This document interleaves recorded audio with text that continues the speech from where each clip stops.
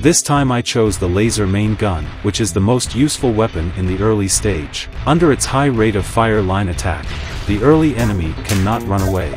The only drawback is that the attack range is too small, but once we equip our fighters on the next supply ships, it will make a big difference. If you look at this Conqueror missile, it is very good. It can launch two tracking missiles to attack nearby enemies. It perfectly compensates for the small attack range of the laser main gun. In addition, the sickle auxiliary gun is also very powerful this month. At the beginning, it can fire two crescent-shaped bullets to attack the enemy. The attack frequency is fast, which can improve the output capacity of our fighters. And as the weapon level increases, the number and power of bullets fired by our aircraft will also increase. You see, right now, the standard missile can fire four tracking missiles at once, and the moon sickle can fire four crescent shells. Not only that, our laser main gun also has the ability of laser refraction.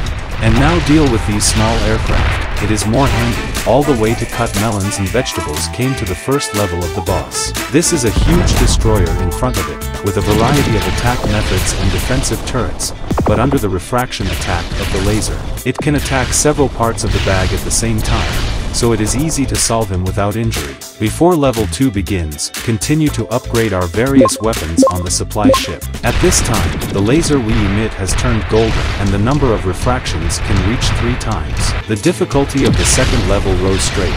There was a large number of enemies at the beginning, trying to use firepower to suppress our position, but it was just improved weapons, which was spent safely. In the following time, it will continue to improve the capabilities of the aircraft, and we can unlock super weapons as soon as we reach full level. In this way, we continue to cut melons and vegetables to upgrade the fighting monster, and soon we came to the final boss of the second level. It was a very large red tank with four turrets in the first stage, but the output of our fighters was so high that we managed to destroy some of his turrets before he could fully attack. Therefore, the boss still poses no threat to us, and successfully destroys it to pass the second level.